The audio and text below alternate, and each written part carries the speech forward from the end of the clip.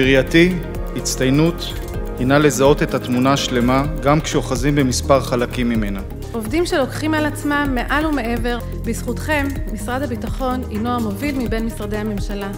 ולכן אני נרגש מאוד לעמוד כאן כנציג ידיעות אחרונות ולהוקיר את המצטיינים.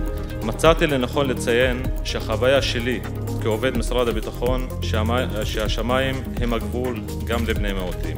נראה לי שהמצטיינים פה סמן ימני לאפשר הכל. אז רבותיי, כל הכבוד, אני גאה בכם. תודה רבה ובהצלחה לכולנו. להיות עם חופשי בארצנו, ארץ ציון וירושלים.